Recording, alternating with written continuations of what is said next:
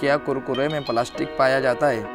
हम सबने बहुत सी बार सुना है कि कुरकुरा प्लास्टिक से बनता है, लेकिन इस बात में कितनी सच्चाई है चली जानते हैं।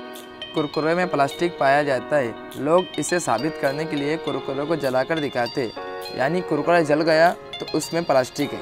लेकिन ये बात बहुत पहले साबित हो चुकी है कि कुरकुरे में किसी प्रकार का ये प्लास्टिक नहीं पाया जाता। और कुरकुरे बनाने में चावल के साथ कुछ ऐसी चीज़ों का इस्तेमाल किया जाता है। जो बिल्कुल पापड़ बनाने की तरह है, और पापड़ भी जलता है। इसका मतलब ये थोड़ी ना कि पापड़ में भी प्लास्टिक पाया जाता है, लेकिन फिर भी छोटे बच्चों को जंक फ़ूड से दूर रखना चाहिए, क्योंकि इससे उनकी बॉडी में स्ट्रेस बढ़ता है।